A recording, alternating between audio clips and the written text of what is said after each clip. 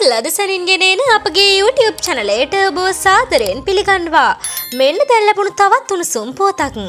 තෙළුඟු සිනමාවේ සුපිරි තරුව ලෙස සැලකෙන මහේෂ් බාබු කියන්නේ ඊටම කඩවසන් වගේම දක්ෂ නළුවෙක්.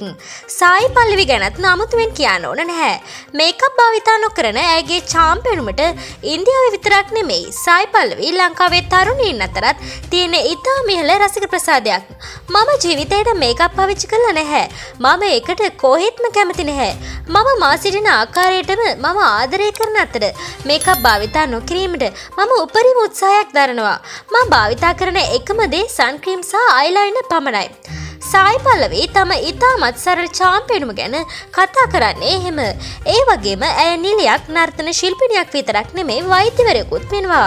හැඩහුරුවෙන් නම් බැලූ බැල්මට ඔවුන් සහෝදරින් නෙවෙයි කියලා කියන නම් කාටවත් පුළුවන් කමක් නැහැ.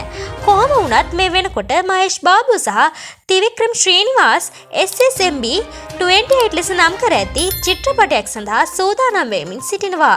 අගෝස්තු මාසයේදී ඒ සඳහා නළු නිලියන් තහවුරු කර අතර සායි පල්ලවීට චිත්‍රපටයේ සුවිශේෂී රංගන දායකත්වයක් දැක්වීමට අවස්ථාවක් හිමිවිය හැකි බවට දැනටමත් අනුමාන තිබෙනවා. අලුත්ම ආරංචිවලට අනුව තිවික්‍රම් සමග ඔහුගේ ඉදිරි චිත්‍රපටයේ මහේෂ් බාබුගේ සහෝදරී ලෙස රඟපෑමට ආරාධනා කර ඇති අතර එය ඉක්මනින් රූගත කිරීම ආරම්භ කිරීමට නියමිතයි. එහෙත් තවමත් සායි පල්ලවි එම චරිතය පිළිගන්නවාද නැත යන්න තවමත් තීරණය කරලා නැහැ. මහේෂ් බාබුගේ සහෝදරයගේ චරිතය නිසා ඇය ඒ භාර කන්නට තරමක් බයෙන් ඉන්න බව තමයි ඇයි කියලා තියෙන්නේ.